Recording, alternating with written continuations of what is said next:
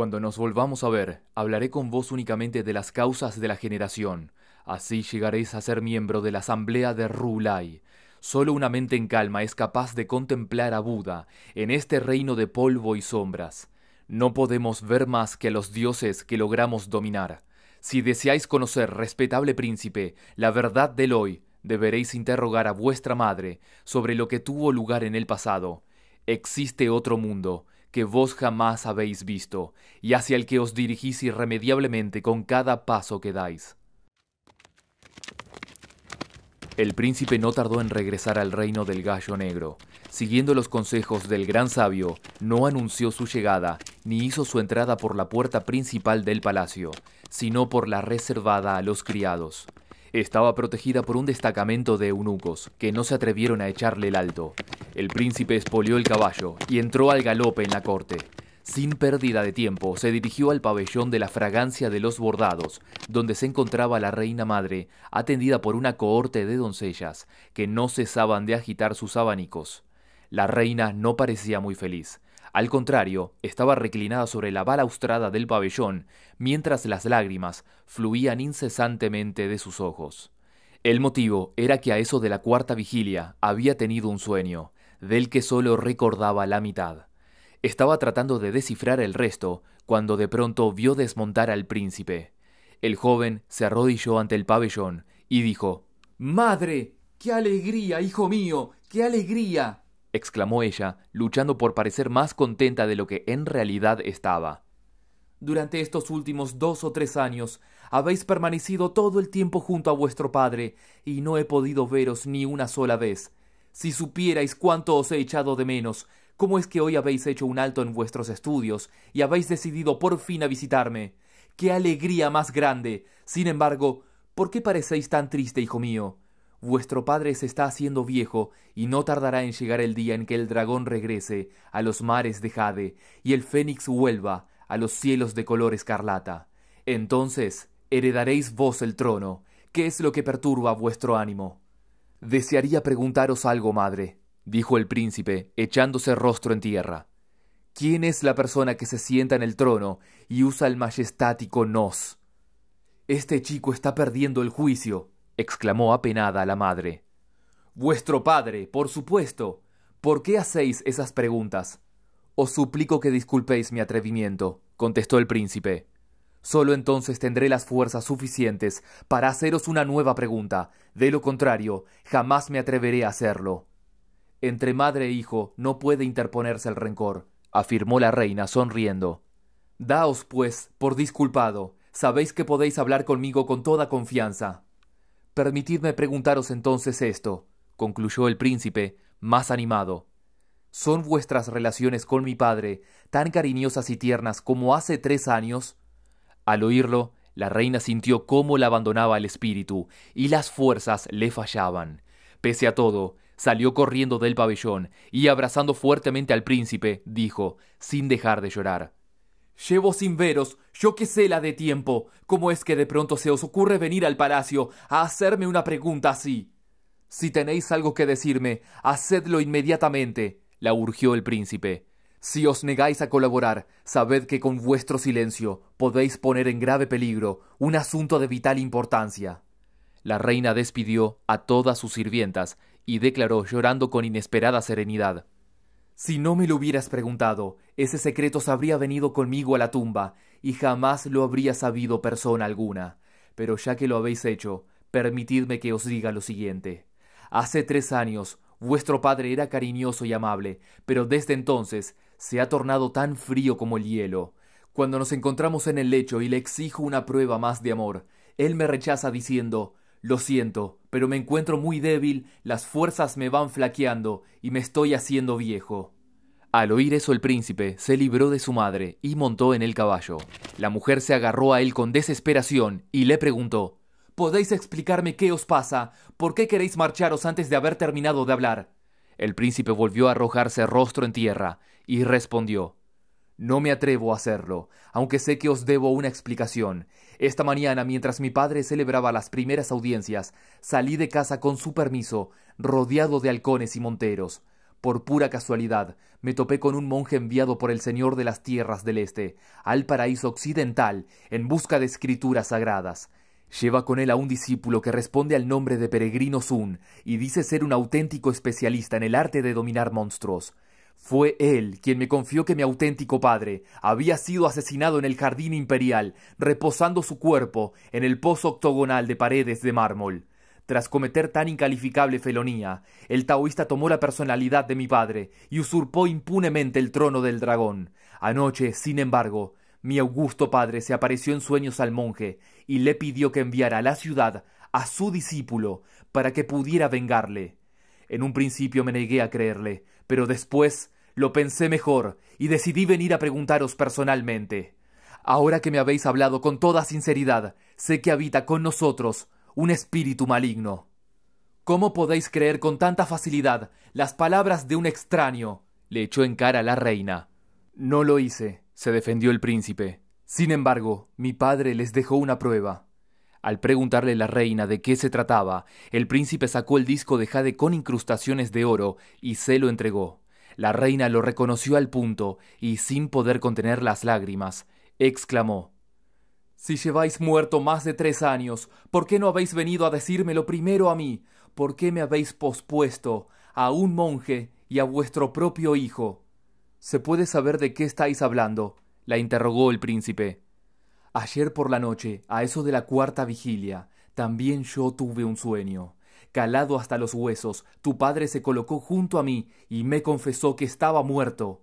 También me dijo que había ido a pedir al monje Tan que dominara al monstruo y rescatara su cuerpo. Recuerdo con claridad estas palabras, pero hay una parte que no logro descifrar del todo. Precisamente estaba cavilando sobre ello, cuando aparecisteis vos y me empezasteis a hacer esas preguntas. Si no os importa, me gustaría quedarme con ese disco de jade. Vos id a decir a ese monje que haga cuanto antes lo que debe hacer para que nos veamos libres de la influencia demoníaca de ese impostor y la verdad salga a la luz. Creo que no hay forma mejor de pagar a vuestro padre las molestias que se tomó a la hora de educaros. El príncipe volvió a montar en el caballo, salió del palacio por la puerta de los criados y abandonó la ciudad. Las lágrimas pugnaban por fluir de sus ojos, mientras se dirigía como una flecha al encuentro del monje Tan. No tardó en avistar el monasterio. Al verlo, los soldados acudieron enseguida a ayudarle a desmontar. Para entonces, el sol estaba empezando ya a ponerse. El príncipe les ordenó que permanecieran en sus puestos y corrió al encuentro del peregrino a pedirle su ayuda. En aquel mismo momento, el rey de los monos salía del salón principal.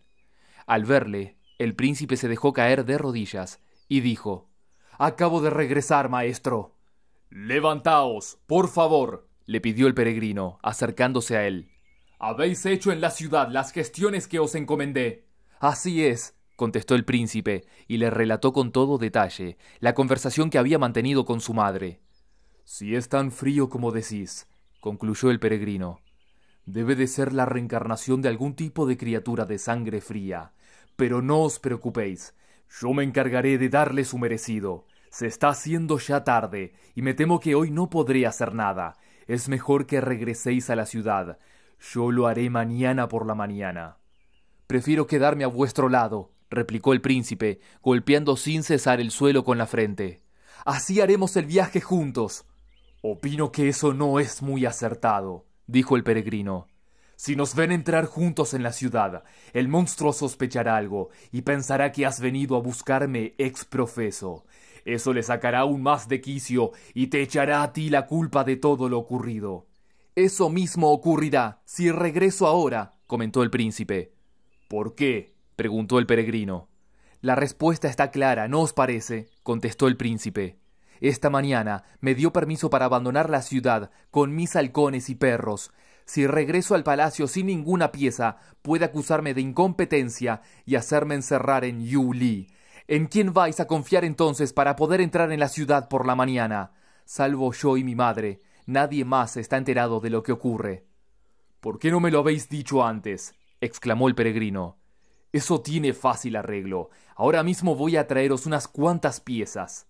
De un salto, se elevó por encima de las nubes, hizo un gesto mágico, y recitó un conjuro que decía Que Om y Ram purifiquen el reino del Dharma.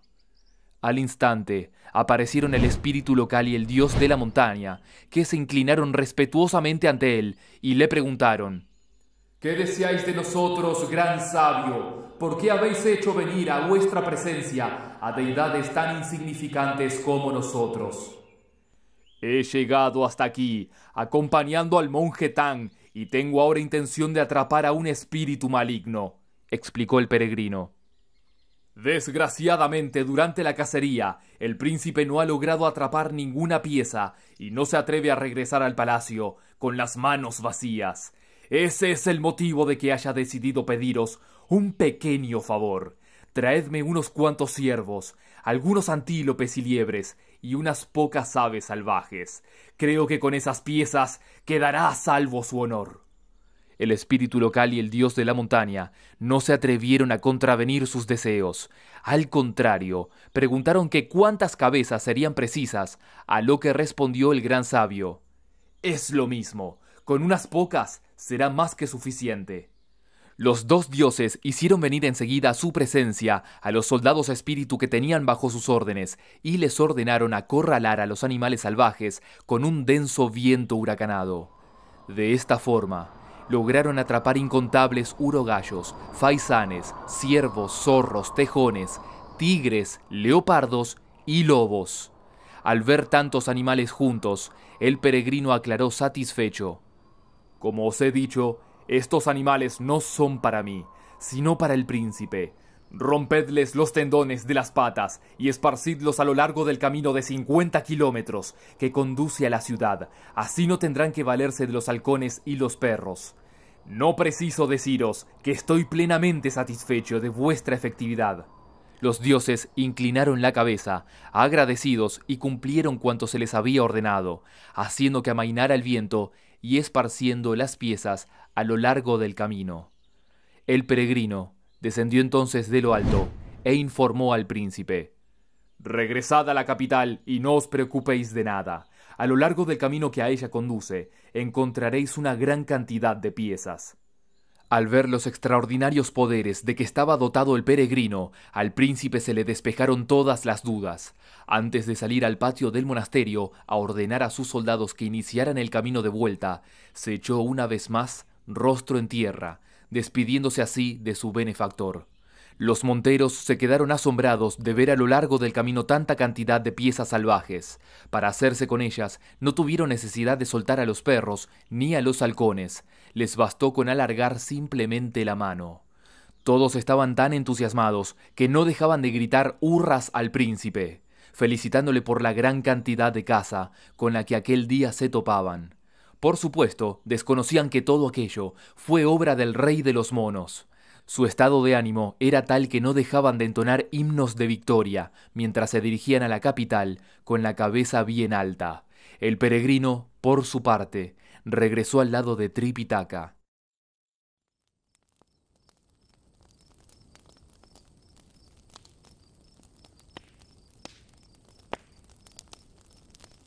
Aquella noche los monjes del monasterio se mostraron con ellos más respetuosos incluso que el anterior. No en balde habían sido testigos de la inesperada amistad que les unía con el príncipe heredero. No pusieron ningún inconveniente a que les fuera servida una cena vegetariana. En cuanto hubieron concluido tan frugal colación, el monje Tan se retiró a descansar al salón del Zen. Cuando sonó la primera vigilia, el peregrino no se había dormido todavía, sumido como estaba en sus reflexiones. A esa hora saltó, por fin, de la cama y se dirigió hacia donde yacía el monje Tan. Maestro, le susurró al oído. Tripitaka tampoco había conciliado todavía el sueño, pero sabía lo inquieto que era el peregrino y no le contestó, haciendo como si estuviera dormido. El peregrino le agarró de la cabeza y empezó a agitársela, al tiempo que gritaba ¿Cómo es posible que estéis dormidos ya? ¡Maldito mono! exclamó el monje Tang, perdiendo la paciencia. ¿Es que acaso no es hora de descansar? ¿Por qué tienes que montar todo este alboroto? Hay algo que quisiera discutir con vos, aclaró el peregrino. ¿De qué se trata? preguntó el maestro. Hoy no he hecho otra cosa que alardear ante el príncipe de mis poderes, induciéndole a creer que son tan altos como una montaña y tan amplios como el mismísimo océano, respondió el peregrino. Llegué a decirle incluso que capturar a ese monstruo sería tan fácil como sacar algo del bolso. Todo lo que tenía que hacer era alargar la mano y hacerme con eso. Llevo recapacitando sobre eso cierto tiempo y he llegado a la conclusión de que va a ser un poco más complicado. De ahí que no pueda dormir. Si piensas que va a resultar tan difícil, trató de tranquilizarle Tripitaka. Es mejor que desistas de tu empeño. No puedo hacerlo, replicó el peregrino. Tengo que atraparle cueste lo que cueste, aunque, a decir verdad, no sé cómo voy a justificar una acción así. Cuidado que eres, exclamó el monje Tan. Ese monstruo ha dado muerte a un príncipe y ha usurpado su trono. ¿Qué quieres decir con eso de que no sabes cómo vas a justificar una acción semejante? Vos solo sabéis meditar, recitar sutras y celebrar las grandezas de Buda, contestó el peregrino. ¿Conocéis acaso los principios legales que dejó establecidos Xiao He? El proverbio afirma que quien arreste a un ladrón debe capturar antes lo que haya robado. Ese monstruo ha ocupado el trono durante más de tres años, pero nadie se ha percatado de su auténtica naturaleza. De hecho, ha dormido con las damas de los tres palacios y ha regido con prudencia los destinos de su pueblo, buscando el apoyo de sus ministros, tanto civiles como militares. Caso de que logre echarle mano, me va a resultar extremadamente difícil aportar pruebas de su crimen. Jamás podrá condenársele. ¿Por qué no? preguntó el monje Tan aunque su modo de hablar sea tan pobre como el de una calabaza, contestó el peregrino. Seguro que dirá algo para defenderse. ¿No imagináis lo que va a decir? Me parece estar oyéndole ya. Soy el señor del reino del gallo negro. ¿Queréis decirme qué crimen he cometido contra los cielos para que vengáis a arrestarme como si fuera un vulgar ladrón? ¿De qué pruebas dispongo yo para echar por tierra todos sus argumentos? ¿Tienes trazado ya algún plan? volvió a preguntar el monje Tan. Sí, reconoció el peregrino, mirándole a los ojos. Pero existe un obstáculo muy serio para su realización y es que vos, con el debido respeto, tenéis la costumbre de ser excesivamente parcial. ¿Qué quieres decir con eso? protestó el monje Tan. Por poneros solo un ejemplo, explicó el peregrino. Bachie tiene el cerebro de un mosquito. Sin embargo, vos siempre estáis de su parte. ¿Cómo que siempre estoy de su parte? volvió a protestar con más energía el monje Tan. Si no lo estáis, concluyó el peregrino, no os importará quedaros aquí con el bonzo ya, mientras Bachia y yo vamos al reino del gallo negro y registramos los jardines imperiales. Abriremos el pozo de mármol y sacaremos el cadáver del auténtico rey. De esta forma, cuando mañana por la mañana regresemos a la ciudad, no tendremos que preocuparnos de otra cosa que de atacar a la bestia. Si nos dice algo, le enseñaremos el esqueleto y le acusaremos de su crimen, gritando con todas nuestras fuerzas Tú mataste a este hombre. Eso tiene además la ventaja de que, en cuanto hayan reconocido al muerto, el príncipe, la reina y todos los demás oficiales se pondrán de nuestra parte. De esta forma me sentiré con las manos totalmente libres para luchar como yo sé hacerlo. Esto es lo que yo llamo una causa digna de nuestra colaboración, porque disponemos de algo sólido en que sustentarnos.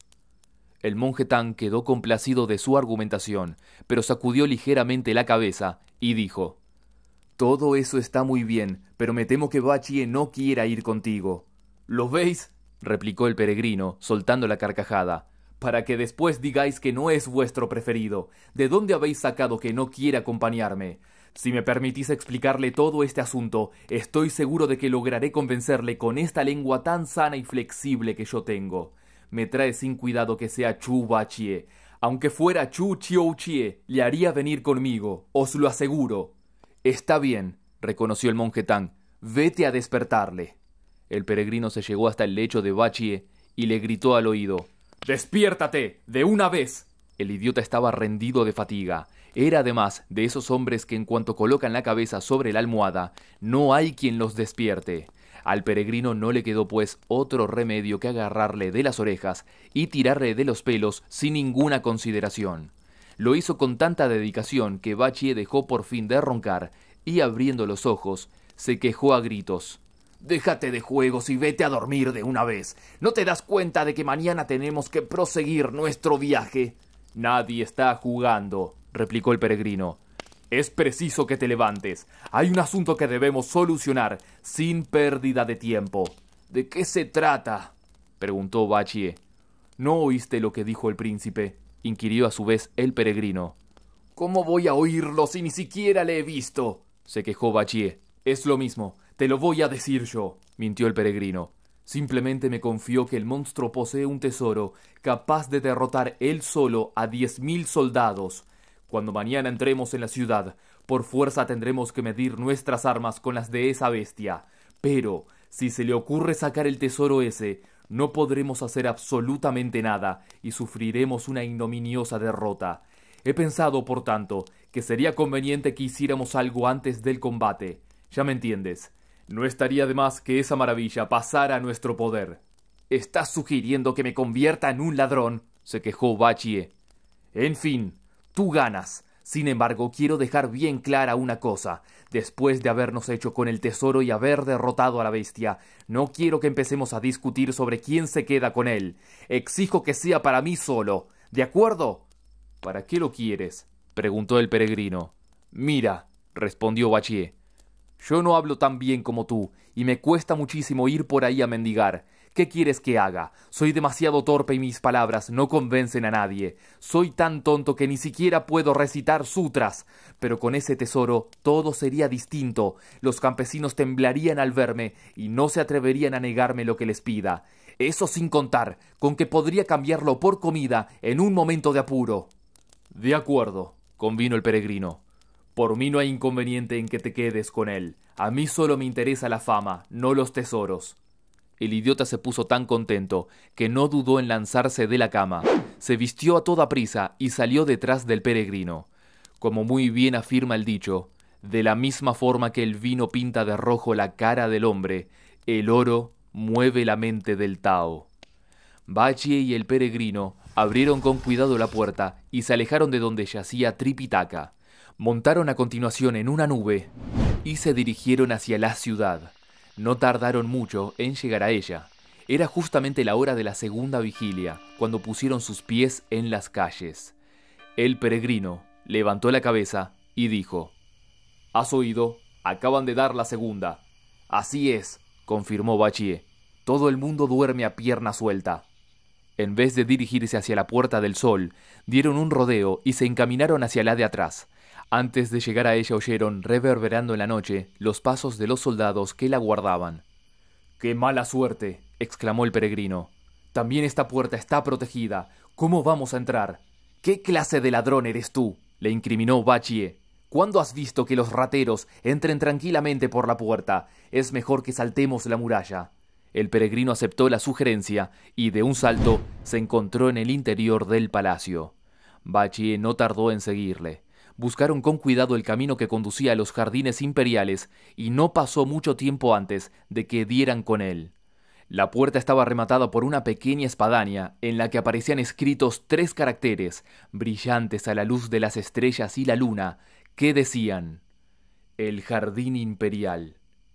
El peregrino se acercó a ella, movido por la curiosidad, y comprobó que estaba cerrada y sellada, con unas franjas anchas de papel se volvió hacia Bachie y le pidió que hiciera algo. El idiota levantó el rastrillo y lo dejó caer sobre la puerta con todas sus fuerzas, reduciéndola a anicos. El peregrino no tuvo ninguna dificultad en proseguir su camino, pero tan pronto como puso el pie en el jardín, empezó a saltar y a lamentarse de una forma tan extraña que Bachie cayó presa del pánico y, agarrándole del brazo, exclamó Menudo susto me has dado. Jamás he visto a un ladrón que se comporte como tú lo haces. ¿Qué pretendes? ¿Despertar a todo el mundo para que nos echen mano y nos conduzcan ante el juez? Aquí son tan severos con los extranjeros que, caso de que logremos salvar la vida, tendremos que pasar el resto de nuestros días en el ejército. Es natural que te preguntes a qué viene todo este alboroto, reconoció el peregrino.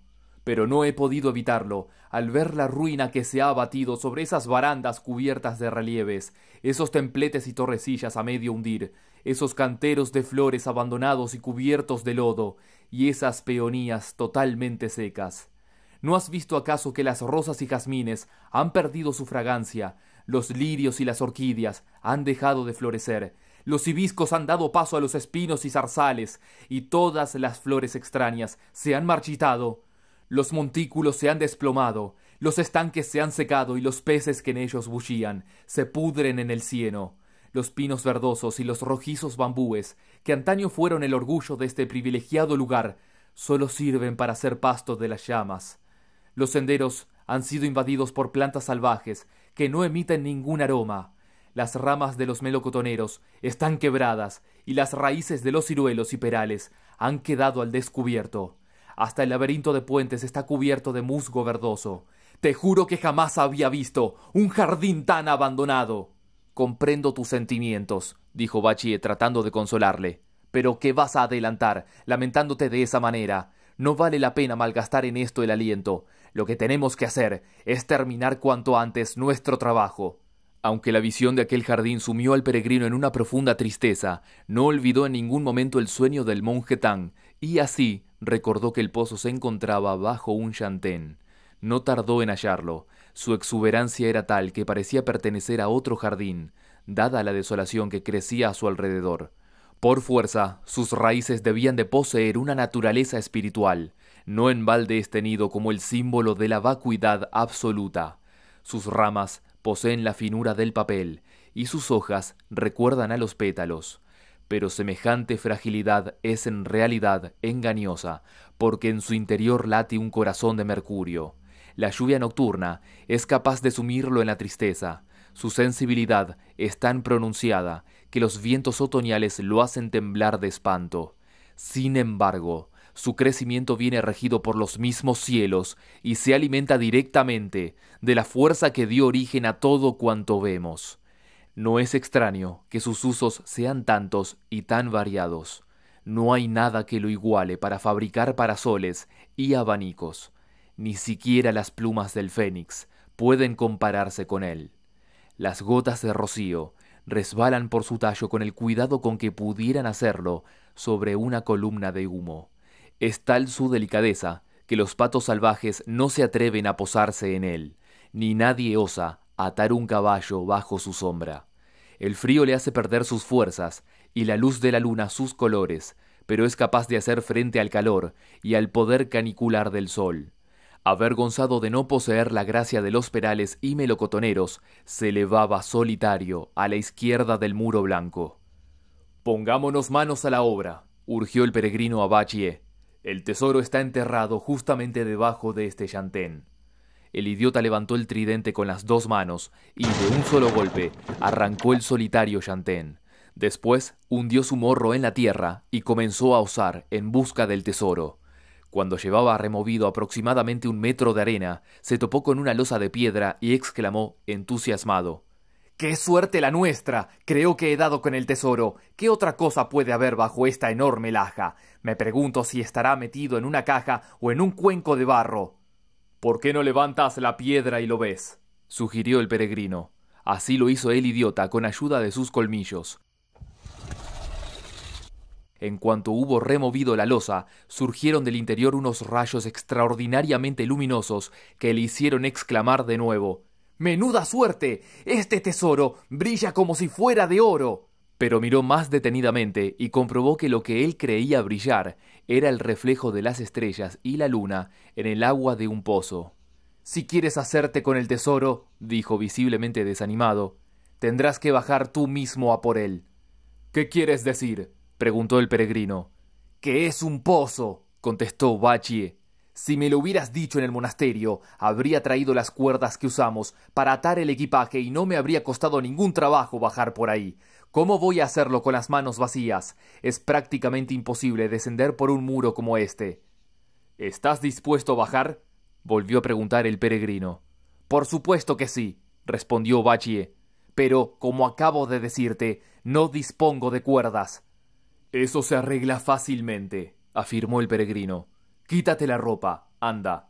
Me temo que mis vestidos no son muy buenos, dijo Bachie. Si exceptuamos esta camisa, lo demás no vale para nada. El gran sabio cogió la barra de los extremos dorados y agarrándola por las puntas, exclamó ¡Alárgate! Y al instante adquirió una longitud de nueve o diez metros. El peregrino se volvió a Bachie y añadió Agárrate a uno de los extremos y te iré bajando poco a poco. De acuerdo, convino Bachie, pero detente cuando llegue a la altura del agua. Estate tranquilo, dijo el peregrino. El idiota agarró un extremo de la barra mientras el peregrino le iba bajando con cuidado al interior del pozo. Bachie no tardó en alcanzar el agua y gritó levantando la cabeza hacia arriba. Estoy tocando ya el agua. Pero en vez de detenerse, el peregrino hundió la barra en el pozo con todas sus fuerzas. Sorprendido, el idiota cayó de cabeza, soltó la barra y sin dejar de tragar agua, se dijo Maldito peregrino, le advertí que se detuviera en cuanto llegara a la altura del agua, pero en vez de hacerlo, me ha hundido en ella cuando menos lo esperaba. ¿Has encontrado ya el tesoro? gritó el peregrino desde arriba, soltando la carcajada. ¿De qué tesoro estás hablando? Preguntó a su vez Bachie. Aquí solo hay agua. Debe de haberse hundido, explicó el peregrino. ¿Por qué no buceas un poco y miras a ver si lo encuentras? El idiota estaba familiarizado con la naturaleza del agua e inmediatamente hizo lo que se le aconsejaba. Sin embargo, aquel pozo era extremadamente profundo. Volvió a sumergirse una segunda vez y al abrir los ojos vio un edificio tan alto como una torre, en el que aparecían escritas estas tres palabras. Palacio de Cristal de Agua. Vaya, se dijo Bachie, desalentado. Me he equivocado de camino y sin darme cuenta, he venido a parar nada menos que al océano. ¿En qué otro lugar puede existir un palacio de cristal de agua? A no ser, claro está, que haya uno en este pozo, lo cual me parece bastante improbable. Lo que Bachi no sabía era que se encontraba en la residencia del rey dragón de los pozos. En aquel mismo momento abrió la puerta del palacio un Yaxa que se encontraba de guardia y al ver lo que vio, corrió a informar a su señor, diciendo ¡Qué terrible desgracia se ha abatido sobre nosotros, gran señor! Ahí afuera hay un monje con una nariz muy larga y unas orejas enormes. Además, está totalmente desnudo y no parece muerto, porque no para de hablar. Debe de ser el mariscal de los juncales celestes, concluyó vivamente sorprendido el rey dragón de los pozos. El dios que patrulla la noche vino aquí ayer con una orden imperial de lo alto, en la que se me instaba a dejar en libertad el espíritu del señor del reino del gallo negro, para que pudiera entrevistarse con el monje Tan. Todos estaban interesados en pedir al gran sabio, socia del cielo, que capturara al monstruo que le dio muerte. Eso explica la presencia del mariscal de los juncales celestes. Procurad tratarle bien y dadle una bienvenida acorde con su rango. Tras cambiarse de ropa, el mismo rey dragón salió a la puerta del palacio, seguido de todos los suyos, y levantando la voz, dijo Hacednos el honor de aceptar nuestra hospitalidad, mariscal de los juncales celestes. Menos mal, exclamó Bachie para sí. Por lo que se ve, los de aquí son amigos. Sin preocuparse para nada de las normas de la etiqueta, el idiota entró totalmente desnudo en el palacio de cristal de agua y ocupó el asiento principal. He oído comentar, mi querido mariscal, dijo entonces el rey dragón, que escapasteis a la sentencia de muerte gracias a vuestra decisión de abrazar la fe budista y a vuestro compromiso de acompañar al monje Tang al paraíso occidental con el fin de obtener las escrituras sagradas. ¿Puedo preguntaros qué os ha traído hasta aquí? Estaba a punto de decíroslo, contestó Bachie. Sun Wukong, mi hermano en religión, deseaba en primer lugar transmitiros su más respetuoso saludo y en segundo pediros que le hicierais entrega de cierto tesoro que tenéis aquí escondido. Lo lamento mucho, se disculpó el rey dragón. Pero la verdad es que aquí no tengo ningún tesoro. Yo no soy tan rico como los reyes dragón de ríos tan importantes como el Yangtze, el amarillo, el Guay y el Cher. Pueden volar por los aires y metamorfosearse en la criatura que les venga en gana. No en balde son dueños de tesoros cuyos orígenes se remontan al principio mismo de los tiempos. Yo, por el contrario, llevo aquí encerrado yo que sé la de siglos, tantos que he olvidado la apariencia que tenían el sol y la luna. Comprenderéis que mis finanzas no sean todo lo bollantes que yo mismo desearía. No os andéis con excusas y sacad inmediatamente lo que os he pedido, le urgió Bachie. Os aseguro que yo no tengo ningún tesoro, insistió el rey dragón. ¿Cómo queréis que os entregue lo que no poseo? Si queréis, podéis comprobarlo por vos mismo. De acuerdo, concluyó Bachie. No esperaba menos de vos. El rey dragón se dirigió hacia el interior del palacio, seguido del idiota. Después de dejar atrás el palacio de cristal de agua, se adentraron en un pasillo larguísimo, en el que yacía un cadáver que debía medir alrededor de seis pies. Este, dijo el rey dragón, señalándole con la mano, es el único tesoro que tenemos aquí. Bachie se acercó a él y comprobó que se trataba de un rey muerto. De hecho, todavía llevaba puesta la corona y vestía una inconfundible túnica roja, unas botas de inmejorable calidad y un cinturón de jade. Debía de llevar muerto muchísimo tiempo, porque estaba tan rígido como una losa. El idiota se pasó la mano por la nariz y dijo esto no es ningún tesoro. Recuerdo que en mis tiempos de monstruo me alimentaba precisamente de cadáveres como este. No me preguntéis cuántos he devorado a lo largo de mi vida, porque no lo recuerdo. Lo que sí puedo decir es que han sido muchísimos. Insisto en que me extraña sobremanera que consideréis como un tesoro algo que carece absolutamente de valor. Se ve que no estáis al tanto de lo que aquí ha ocurrido, afirmó el rey dragón. Este, de hecho, es el cadáver del señor del reino del gallo negro. En cuanto llegó al fondo de este pozo, me tomé la molestia de momificarle con una perla conservadora de rasgos, para que el agua no terminara descomponiéndole. Estoy seguro de que, si se lo lleváis al gran sabio, socia del cielo, que, por cierto, está muy interesado en su vuelta a la vida, conseguiréis algo más que un tesoro, pues, en cuanto resucite, os colmará de riquezas y honores. En ese caso, concluyó Bachie más animado, cargaré con él, pero ¿quién va a pagarme los portes? Me temo que yo no, respondió el rey dragón. Como ya os he dicho antes, no tengo dinero. Esta sí que es buena, se quejó Bachie. Aquí todo el mundo quiere que haga las cosas gratis. Sabed que estoy cansado ya de trabajar por la cara. Si no estáis dispuesto a cargar con él, concluyó el rey dragón, lo mejor que podéis hacer es marcharos de aquí. Bachi así lo hizo, sin despedirse de él ni darle las gracias. Pese a todo, el rey dragón ordenó a dos yaxas fornidos que cogieran el cadáver y lo arrojaran fuera del palacio de cristal de agua. Al llegar a la puerta, le arrancaron la perla repulsora de líquidos y al instante las aguas se abalanzaron sobre él como si fueran un torrente. Al oír el estrépito, Bachie miró para atrás, pero le fue imposible ver la puerta del palacio de cristal de agua. La presión del agua era asfixiante y, desesperado, estiró los brazos, logrando asirse al cadáver del rey. Bachie sentía una profunda repulsión por los muertos, pero aquella era la única forma que tenía de escapar de morir ahogado. El cadáver ascendía, de hecho, hacia la superficie con la velocidad de una flecha. En cuanto sacó la cabeza del agua, Bachie luchó con todas sus fuerzas para asirse a las resbaladizas paredes del pozo, al tiempo que gritaba Baja la barra de hierro y sálvame. ¿Has dado con el tesoro? preguntó el peregrino. No hay ninguno aquí abajo, contestó Bachie. El rey dragón que habita en este pozo me pidió que sacara un muerto de las aguas, cosa a la que me negué de plano. Sin embargo, las aguas lo invadieron todo y hube de agarrarme a él para poder llegar hasta aquí. No necesito decirte que las piernas me temblaban y los brazos se negaban a obedecerme, pero ¿qué otra cosa podía hacer si no quería morir ahogado? Por lo que más quieras, sácame de aquí cuanto antes. Ese muerto del que hablas es precisamente el tesoro en el que yo estaba interesado, confesó el peregrino. ¿Por qué no lo subes aquí? ¿Cómo que por qué? protestó Bachie. Este hombre debe de llevar muerto muchísimo tiempo. No me atrevo a cargar con él. En fin, allá tú, concluyó el peregrino. Yo me voy. ¿Se puede saber a dónde? gritó alarmado Bachie. Al monasterio, a descansar un poco, respondió el peregrino. ¿Quieres decir que no vas a esperarme? volvió a gritar Bachie.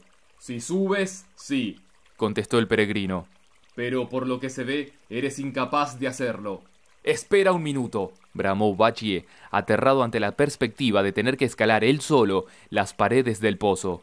Es que no lo comprendes. Esto es mucho peor que subir por las murallas de la ciudad. Para empezar, es más largo, termina en una pequeña boca y es totalmente redondo. Por si esto fuera poco, hace muchísimo tiempo que nadie saca agua de este pozo y sus paredes están cubiertas de musgo, lo cual las torna aún más resbaladizas. ¿Cómo voy a poder salir de aquí si tú no me ayudas? Apelo a tus sentimientos fraternos. Por mi parte, estoy dispuesto a cargar con este muerto. Eso parece mejor, dijo el peregrino. Hazlo enseguida, para que pueda retirarme a descansar de una vez. El cadáver había vuelto a hundirse, y Bachie tuvo que meter de nuevo la cabeza bajo el agua. No tardó en dar con él. Lo cargó sobre sus espaldas y nadó con fuerza hacia la superficie. Allí volvió a apoyarse en las resbaladizas paredes y gritó Ya lo tengo. El peregrino miró dentro del pozo y vio que, en efecto, el cadáver del rey descansaba sobre sus espaldas. Solo entonces se avino a meter la barra en el agua. El idiota estaba al borde de sus fuerzas. Al ver acercarse la barra, abrió la boca y se asió con los dientes a uno de sus extremos. De esta forma, pudo, por fin, ser elevado hasta el mismo brocal. En cuanto se sintió en tierra firme, dejó caer el cadáver y se vistió con los harapos, que se hallaban en el mismo lugar en que los había tirado. Mientras se ponía la ropa, el peregrino se acercó al rey. Para su sorpresa, comprobó que estaba intacto, y, más que muerto, parecía totalmente vivo. ¿Cómo no se habrá podrido si lleva muerto más de tres años? se preguntó el peregrino, sorprendido. Se ve que no estás al tanto de lo ocurrido, replicó Bachie. El dragón del pozo me informó que le había momificado con ayuda de una perla, de ahí que sus rasgos no hayan cambiado lo más mínimo. ¡Qué suerte! exclamó el peregrino. Eso quiere decir que su venganza ha de cumplirse y que por lo tanto nosotros saldremos vencedores. Vuelve a cargar con él y vámonos. ¿A dónde quieres que le lleve? protestó Bachie. A que le vea el maestro, explicó el peregrino. ¿Qué clase de vida es esta? se quejó una vez más Bachie. Estaba durmiendo tan tranquilamente cuando este maldito mono me embaucó con su palabrería para que le hiciera un trabajo tan ingrato como este. ¿A quién se le ocurre hacer cargar a uno con un muerto? Es asqueroso. Por fuerza tiene que escapársele algún líquido maloliente y sanguinolento que terminará empapando todas mis ropas. Ni aunque las lave diez mil veces, lograré liberarlas de ese olor pútrido. Tendré que tirarlas. No me queda otro remedio. ¿Cómo voy a volver a ponérmelas para que todos me miren con asco? Deja de protestar de una vez, le aconsejó el peregrino. Tú llévale con cuidado, y cuando lleguemos al monasterio te cambio la túnica y asunto concluido. ¿De acuerdo? Debería darte vergüenza, le reconvino Bachie. Tus vestidos son aún peores que los míos. ¿Cómo se te ocurre hacerme una proposición semejante? Cuidado que te gusta hablar, se quejó el peregrino. ¿Vas a cargar con él de una vez o no? No, contestó Bachie gritando. En ese caso, ordenó el peregrino malhumorado, bájate los calzones para que pueda darte veinte o treinta golpes con mi barra de hierro. Tu barra es demasiado pesada, exclamó Bachie temblando de pies a cabeza. Si me das todos esos azotes, voy a terminar como este rey. Lo mejor que puedes hacer, si tanto miedo tienes al castigo, le aconsejó el peregrino, es cargar con el cadáver y seguirme sin chistar. Bachi tenía en efecto un miedo horrible a ser azotado. Disimuló como mejor pudo su repugnancia y se echó el muerto a la espalda. En cuanto hubieron salido del jardín, el gran sabio hizo con los dedos un gesto mágico, recitó un conjuro y, volviéndose hacia el sudoeste, hinchó los pulmones de aire. Al expelerlo con todas sus fuerzas, se levantó un viento huracanado que transportó a Bachie fuera del palacio. No tardaron tampoco en dejar atrás la ciudad. Poco a poco fue, sin embargo, amainando el huracán y hubieron de seguir el camino a pie. Aunque no decía nada, el idiota estaba furioso y no hacía más que pensar la forma de vengarse del peregrino. Este mono se ha burlado de mí todo lo que ha querido, iba pensando mientras andaba. Pero ya me las arreglaré para pagarle con la misma moneda cuando lleguemos al monasterio. Le diré al maestro que es indispensable que el rey vuelva a la vida, y cuando este mono maldito se muestre incapaz de hacerlo, le convenceré para que recite ese conjuro que tan fuertes dolores de cabeza le produce. Entonces me reiré a mis anchas, y me olvidaré del mal rato que me ha hecho pasar.